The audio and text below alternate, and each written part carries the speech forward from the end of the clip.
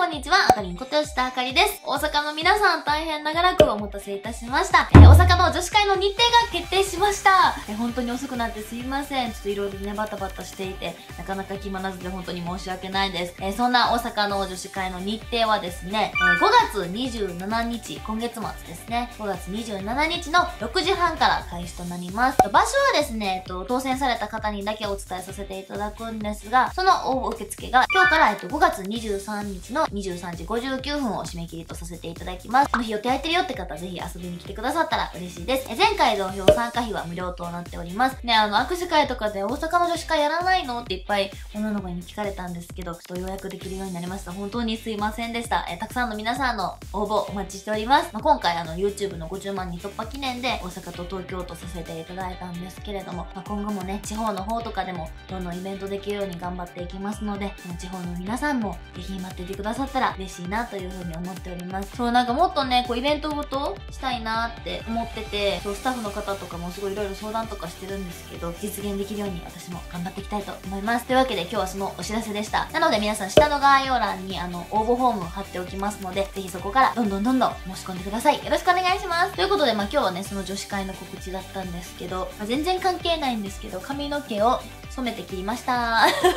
そう、関係ないけど、今回ね、ちょっとピンク系にしたんですけど、カラーがハニーピンクっていうカラーになります。ちょちょっとね、透明感があるピンクを入れてもらいました。それで、秋冬はなんかちょっと重めのカットが可愛いかなと思って、毛先を重めにバツって切ってたんですけど、今回はですね、ちょっとあの、巻きに動きが出るようにっていうのと、あと髪の毛ちょっと重たかったので、若干内側をすいてもらって、で、なんか巻いた時にこうちょっと動きが出るように少しだけレイヤー入れてもらいました。で、前髪はなんか伸ばすか切るか迷っているっていう状況ですね。どう思いますか？長いの似合うかな？なんかちょっと老ける気がすんねんな。そう、あと明日ね、17日はクインテットのね、単独公演があるんですけれども、本当にたくさんのお申し込みありがとうございました。そしてね、当選された方ぜひ明日楽しんで帰ってください。あの、今回のクインテットの単独公演はですね、自分たちでセットリストも考えて、普段なら16人とかで踊るような曲も5人バージョンに変えてるので、全部新しく立ち位置とかも私が作って構成とかも考えさせていただいたので本当にこれはここ最近マジで寝ずに立ち位置を作ったりクインテットのことで頭いっぱいで本当に命かけて作った